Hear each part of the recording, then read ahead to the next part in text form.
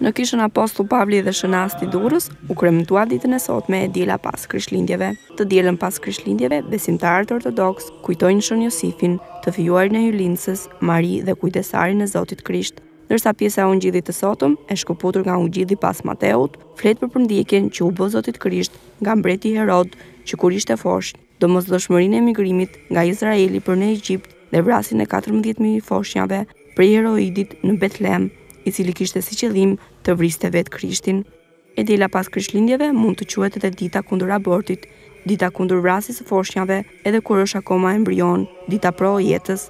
Kjo ditë, e cila përkon edhe me mbylljen e vitit që po lëmë pas, i bën besimtarët e krishterë të reflektojnë për jetën e tyre, për familjen e tyre, për bekimet që Perëndia i ka dhuruar, si dhe për sfidat e ndryshme që kanë kaluar. Në ndihmë u vijnë dy personazhet kryesorë të ditës së sotme, Shën Josifi dhe mbreti Herod. Nga njëra anë, Josifi u tregua kujdestar besnik dhe pranoi në gjirin e familjes së tij foshnjën hyjnore, ndërsa nga ana tjetër, mbreti Herod urdhëroi vrasjen e gjithë foshnjave në krahinën e Betlehemit, duke u quajtur si foshnjëvrasës. Sot, të krishterët ftohen të mos t'i ngjajnë mbretit Herod, i cili u kthye në vrasës foshnjash. Fatkeqësisht, edhe sot foshnjat vriten. Aborti është vrasje dhe ata që abortojnë janë vrasës. Kisha Ortodokse është kundër abortit dhe këtë u predikon besimtarëve të saj. Të krishterët sot, ftohen që t'i ngjasojnë Shën Josifit, të jenë kujdestarë besnikë të fëmijëve të tyre, të formojnë familje me themele të forta dhe me Zotin në qendër të saj.